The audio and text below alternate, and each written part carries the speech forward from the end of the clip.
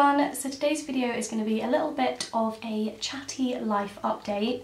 If it wasn't like 30 degrees outside right now, I would probably have like a little cup of tea and everything, but oh my goodness, it is hot today, so apologies if you see me like melting throughout this video. I've had to close all of my windows and this room is slowly becoming a little sauna, not ideal, it is very warm, but today I just thought I would fill you in on what I'm doing with my life now that I've finished university. I actually filmed this video a few weeks ago in advance to post last week, but when I went to edit it, it literally made no sense, so I thought I was better off just refilming it now. Also, quite a lot has changed since I filmed that video. So today I just thought I would chat about everything I'm planning on doing now that I finished uni, all of my plans, if I'm travelling, if I'm learning to drive, all that sort of thing. So I guess it makes sense to talk about things chronologically. So if we go all the way back to a few weeks ago when I was still in Exeter, I finished my exams, I went to Italy for a week with Will, just had a really nice chill couple of weeks in Exeter. It was lovely. I wish I could have stayed longer, but I had to come home for the 18th because I actually got myself a four week internship. Now I wasn't like, I didn't have any plans to get an internship at all. I hadn't really been looking for them, wasn't that interested, but I went on Indeed and this one came up and it was super local to me and I was like, this is great because there's not many places that are walking distance from where I live and this happened to be walking distance. So I was like this would be ideal. And it was paid and it was four weeks which would fit in perfectly from finishing uni and my graduation week so I applied for that, didn't really hear back for quite a while and then found out that I'd got it, which was obviously really exciting and that is what I've been doing for the past four weeks. If you would like to see a video all about my internship, I will film one of those because I can go into more depth of how I got it, how I had to apply, what I've been actually doing at my internship. So it's a marketing internship, so that's the kind of thing I've been doing. I've been really enjoying it so far. I've got one week left. By the time you're watching this, I will have finished, just finished, but I've currently got one week left and then I've got my graduation week which is the next big thing that I have to deal with. So many things to sort out and stressed about. I'm so stressed about graduating. I had my first stress stream last night about it and how I got to the stage and I just couldn't walk, like my legs wouldn't work. And that's just, that's the kind of thing I'm worried about at the moment. I've got my dress sorted, I got my shoes the other day, which is nice.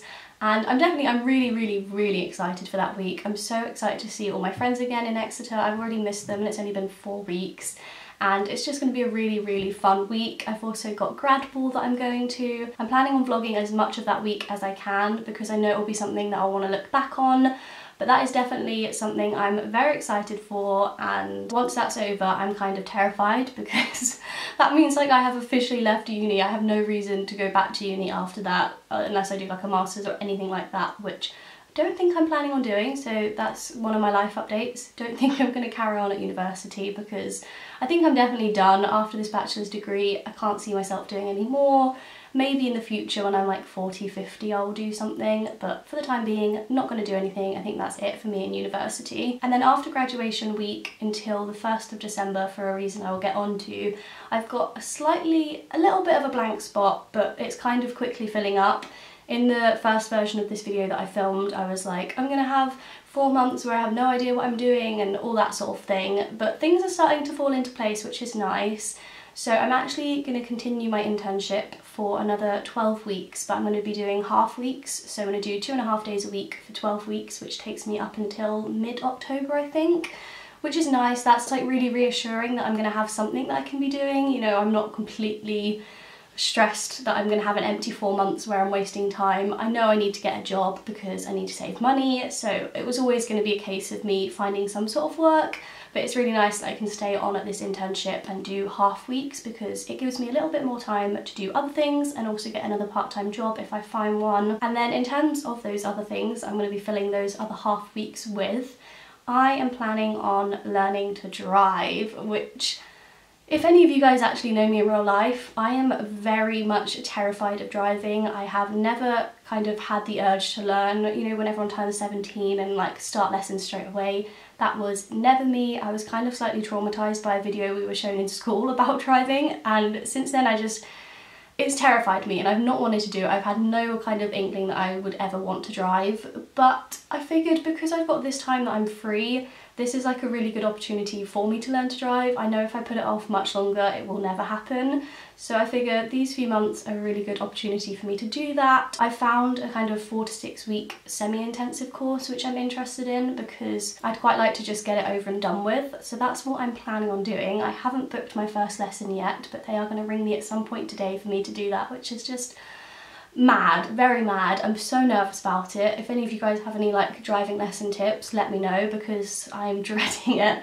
I mean, it would be so nice to be able to drive. Like, the bus prices here are ridiculous. I paid eight quid for a return journey the other day, and I'm just like, not about that bus life. I want to be able to take myself places, and being able to drive would just make things a whole lot easier. So that is how I'm going to be filling some of my time for the next few weeks. I'm going to be learning to drive hopefully and hopefully I'll pass my test and hopefully I'll be on the streets driving a car but we will see. We will see how that all goes. I will keep you updated probably in a few vlogs. And then i mentioned before about how i've got four months until the 1st of december and that is because on the 1st of december i am going traveling for three months which I am very excited about and I know I overuse the word excited. I have been told that before in comments and by like my friends and family.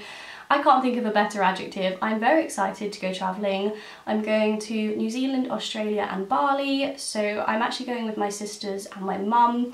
So we are doing New Zealand for five weeks all together and then me and one of my sisters are doing Australia and Bali for seven weeks and I just can't wait. I can't believe it. Like, I've been thinking about this trip for a few years now because my sisters, I've got two older sisters and they both currently live in New Zealand. And when my elder sister was planning on going out to New Zealand, this was a few years ago, and I remember working out like, oh, I would have graduated that summer, I can come out and visit. And now, like, that's happening. Everything, like, time has flown by and it's almost at that time and I'm going to be going to New Zealand and I just can't wait.